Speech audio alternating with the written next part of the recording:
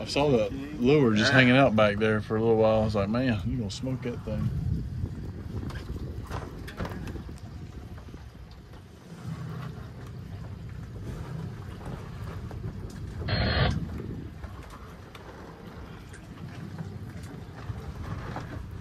They got some shoulders on them, don't they, buddy?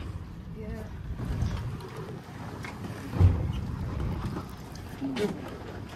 He's giving you a runner. Oh, he's a good one.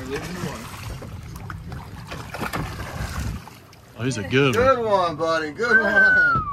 I heard Robert change his tone of voice there for a second. Look how easy that hook came out. You see that? It was Yeah. like barely. The minute you put slack in it. Oh, You did good, man, to keep him on that rod like that with that barely little hook in there.